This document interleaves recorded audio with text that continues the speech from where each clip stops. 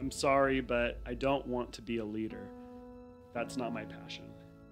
I don't want to pursue money or power. What I want is to help people.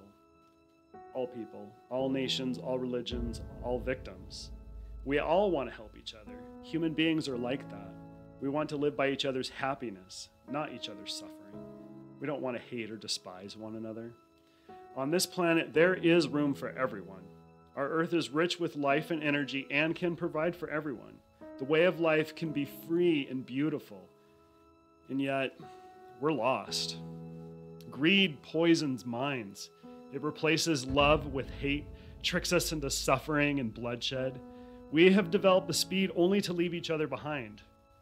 Our technology that gives us abundance leaves us in want. Our knowledge has made us cynical, our cleverness hard and unkind. We think too much and feel too little. More than technology, we need humanity.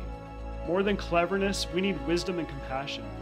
Without shared values, life will be violent and many will be lost. Even now, as I share this moment, millions throughout the world struggle for no good reason. Men, women, little children, all victims of a system, a system that enables the needless suffering of innocent people. To those in this moment with me, I say, do not despair. The suffering that is upon us is but the passing of greed, the bitterness of the fear of human progress. The hate of men will pass, and dictators die, and the power they took from the people will return to the people. And so long as we believe, progress will never stop. Villagers, don't give yourselves to brutes, people who judge you and toy with you and regiment your lives and tell you what to do and what to think and what to feel, who manipulate you and feed you cancer and destroy your forests and use you to fight wars. Don't give yourselves to these unnatural men, machine men with machine heights, hearts and machine minds. You are not machines. You are not robots. You're human. You have the love of humanity in your hearts. Villagers, don't be slaves to money. Don't give your money to companies that take and do not give. Don't allow industries to sell you poison. Don't buy with greed, buy with love.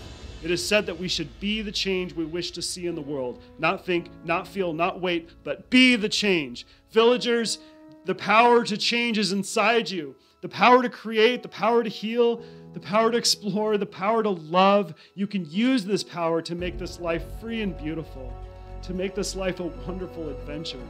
Then, in the name of love, let us use that power. Villagers, Let's create a new world, a decent world that will give us all a fair role to play, that will give the youth a future and the old security. With the promise of these things, brutes have risen to power, but they lie. They won't fulfill their promise, they never will. Dictators free themselves, but they enslave the people. Now let us make our own promise. Let us promise to free humanity.